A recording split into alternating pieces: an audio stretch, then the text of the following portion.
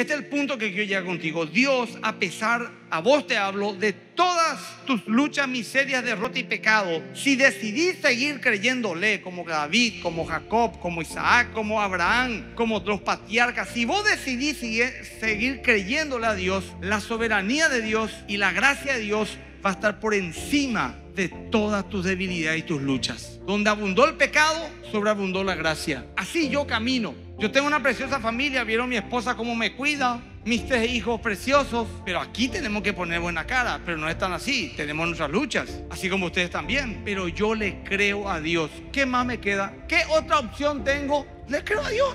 No, no todo es perfecto, pero le creo a Dios. Mi esposa le cree a Dios y estamos tratando ambos de que nuestros hijos le crean a Dios y así caminamos en fe y Dios va a hacer su obra nosotros porque no depende de vos, depende del que te llamó. Y si vos crees que Dios te llamó, pues Dios terminará la obra que empezó en tu vida. Así que creerle al Señor, darle ese aplauso fuerte porque es para Él. Gloria a Dios.